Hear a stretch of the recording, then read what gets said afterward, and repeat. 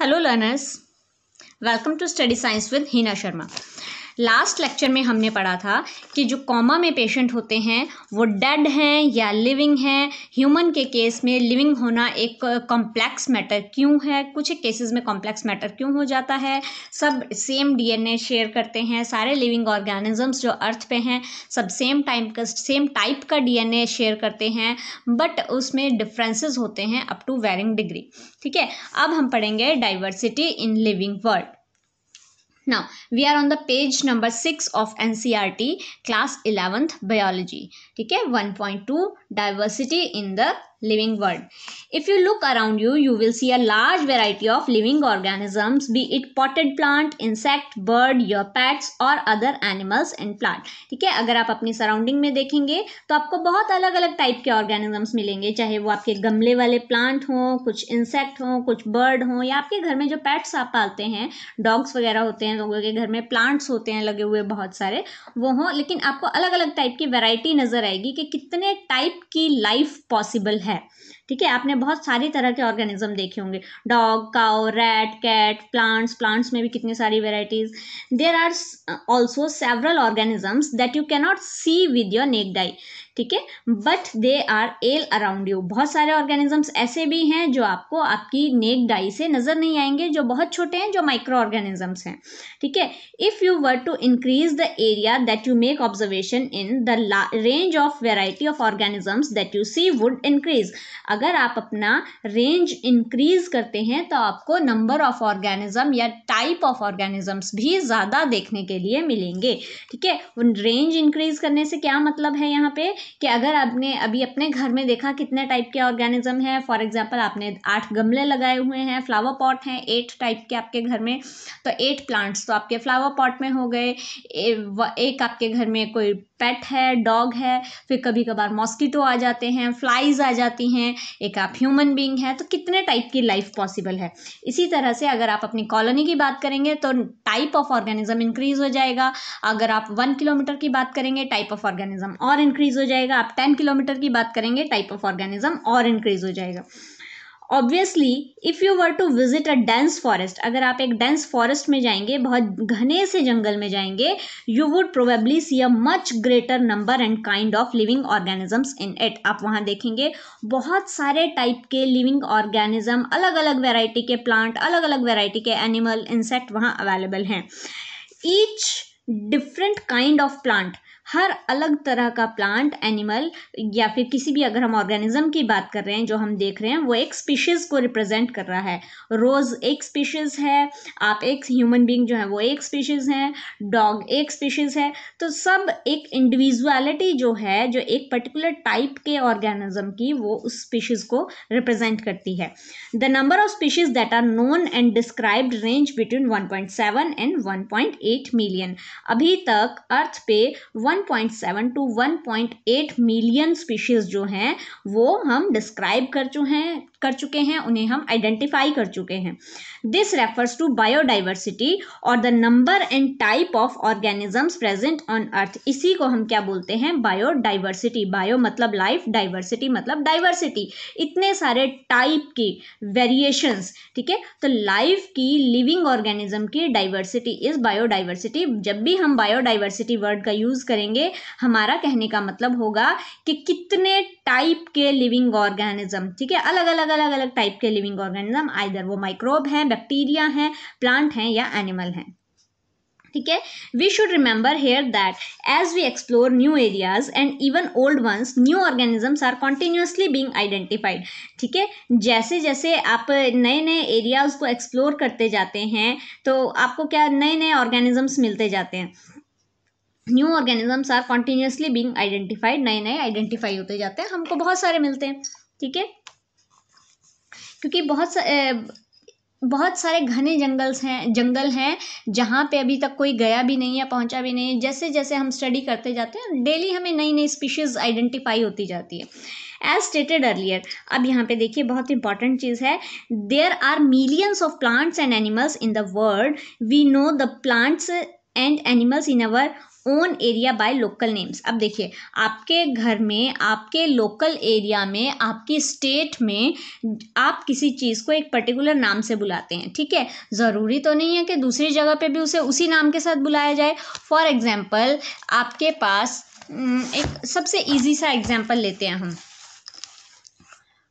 मान लीजिए, आप घर में आम खाते हैं? आप क्या बोलते हैं उसे? आम। ठीक है? घर में बड़े लोग, घर के लोग, या फिर और भी बहुत सारी हमारी कम्युनिटी में हम लोग हिंदी हैं, ठीक है? हमारी जो नेशनल लैंग्वेज है, वो हिंदी है तो आम बोलते हैं हम लोग, ठीक है? अब अगर हम इसी को इंग्लिश लैंग्वेज में बोलें तो वो क्या है? मैंगो ठीक है? अब हमें इतनी इंग्लिश आती है बट स्टिल अगर हम ये बोलें कि कोई इंडियन है, वो बात कर रहा है आम की, लेकिन सेम प्लेटफॉर्म पे अगर कोई मान लो इंग्लिश मैन है, वो बात कर रहा है तो वो क्या बोल रहा है? मैंगो अब हमें तो नहीं, हम बोलेंगे आम, वो बोलेगा मैंगो हम बोलेंगे आम, वो बोलेगा मैंगो अब हमें नहीं पता चलेगा ना कि हम सेम चीज़ की बात करें। अगर मान लो फॉर एग्जांपल एक छोटा सा एग्जांपल है, आप बोलेंगे कि हम आम खाएँगे। नहीं, आपके साथ कोई इंग्लिश मैन खड़ा है, वो बोलेगा, नहीं, मैं तो मैंगो खाऊँगा। आप बोलेंगे, नहीं, मैं आपके लिए आम लेके आऊँगी। वो कहेगा, नहीं, मुझे तो मैंगो खाना है।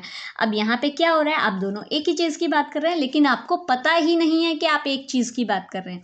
ठीक है? ये एक जस्ट एक एग्ज़ाम्पल था।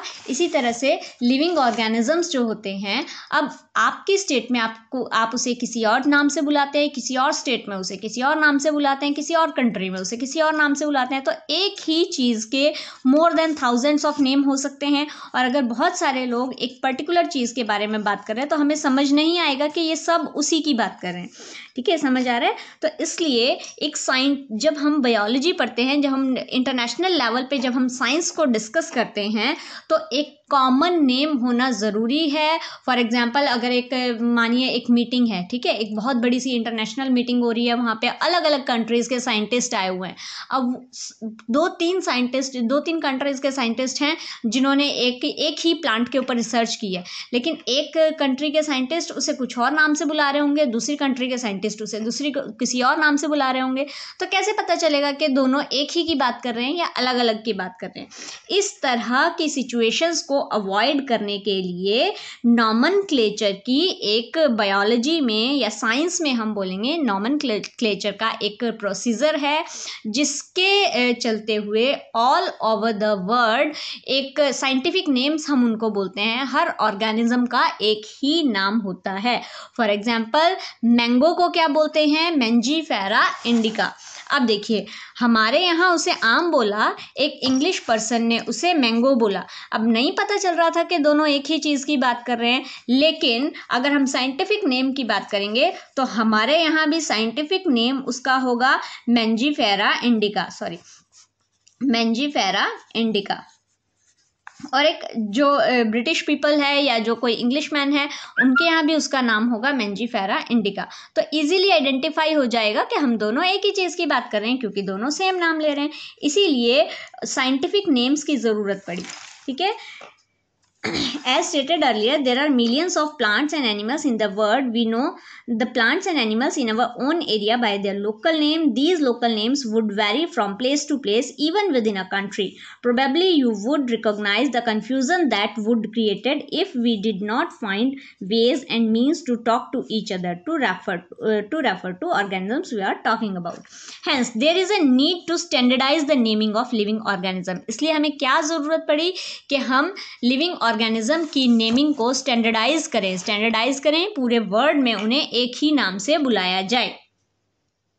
This process is called nomenclature obviously nomenclature or naming is only possible when the organism is describe correctly and we know to what organism the name is attach to this is identification अब यहाँ पे हम किसी भी का भी नॉमन clutcher तभी कर सकते हैं जब हम उसे सही से आइडेंटिफाई करेंगे। नॉमन क्लेचर और आइडेंटिफिकेशन बायो की लैंग्वेज में अलग अलग चीज़ें हैं, हम इसको ध्यान रखेंगे। नॉमन क्लेचर का मतलब है कि एक चीज़ का नाम है आम, ठीक है? एक फ्रूट का नाम है आम। वो नॉमन है। और उसे हमने आम क्यों बोला? क्यों हमने संतरे को आम नहीं बोल दिया? वो जो कैरेक्टरिस्टिक होंगी मैंगो की, वो आइडेंटिफिक आइडेंटिफाइंग कैरेक्टर्स होंगे, वो आइडेंटिफिकेशन होगी। ठीक है? समझ रहे हो आप कि हमने किसी चीज़ को नाम दिया, वो नॉमन है, लेकिन वो नाम देने के लिए हमने जो जो फीचर आइडेंटिफाई किए, वो आइडेंटिफिकेशन है। In order to facilitate The study, number of scientists have been established procedures to assign a scientific name to each each known organism. This is acceptable to all biologists all over the world. और ये जो naming procedure है, ये सारे biologist को all over the world accept करना होता है। फिर सबके यहाँ वो सेम नाम से बुलाए जाते हैं। For plant scientific names are based on agreed principle and criteria which are provided in international coded code for botanical nomenclature नाम एक्सपेंड करने के लिए आते हैं। क्वेश्चन आप ध्यान रखेंगे ICBN क्या होता है? You may ask How are animals named? Animal taxonomists have evolved International Code of Zoological Nomenclature ICZN जिसे प्लांट के नॉमनक्लेचर के लिए ICBN है, ऐसे एनिमल्स के नॉमनक्लेचर के लिए ICZN है। The scientific names ensure that each organism has only one name scientific name ये इंश्योर करते हैं कि हर ऑर्गेनिज्म का सिर्फ़ एक ही पॉसिबल नाम होना चाहिए। Description of any organism should enable the people in any part of the world to arrive at the same name ठीक है? ताकि वर्ल्ड के किसी भी कोने में अगर उस ऑर्गेनिज्म का नाम लिया जाए तो सबके यहाँ उसका एक ही नाम हो, ठीक है? They also ensure that such a name has not been use for any other known organism किसी और ऑर्गेनिज्म के लिए वो नाम कभी भी यूज़ नहीं किया जाना चाहिए। ठीक है? समझ आ रहा है क्या बोल रही हूँ? बाकी हम नेक्स्ट लेक्चर में पढ़ेंगे। Thank you